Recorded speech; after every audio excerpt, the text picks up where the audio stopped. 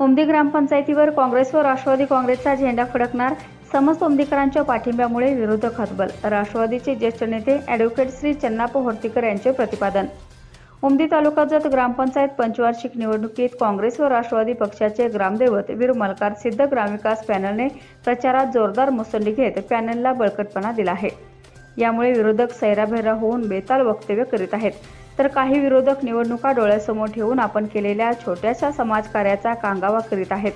पण ओमदीची जनता सुज्ञ व हुशार असून या विरोधकांच्या कांगाव्याकडे बळी पडणार नाही. याउलट काँग्रेस व राष्ट्रवादी काँग्रेस पक्षाचे थेट सरपंच पदाचे उमेदवार मानेश्री निवृत्ती शिंदे सरकार हे गेले अनेक वर्षे राजकारणात असून केवळ निवडणुकीपुरतीच त्यांनी समाजकार्य केलेले नसून जनतेच्या हितासाठी प्रामाणिक निस्वार्थ अशी अविरत धडपड केली आहे. या निवडणुकीत काँग्रेस व राष्ट्रवादी पक्षाची सत्ता एकहाती स्थापन करून उमदीची उर्वरित प्रलंबित प्रश्न तत्परतेने मार्गी लावू असे प्रतिपादन उमदीचे ज्येष्ठ नेते श्री चन्नाप्पा होर्तीकर यांनी एसटीएन मराठी चॅनलशी बोलताना व्यक्त केले. अशी माहिती एस एसटीएन मराठीचे जत तालुका प्रतिनिधी अतुल कुलकर्णी यांनी दिली. याबरोबरच हे बातमीपत्र संपले. पुन्हा भेटूयात पुढील बातमीपत्रात. तोपर्यंत नमस्कार.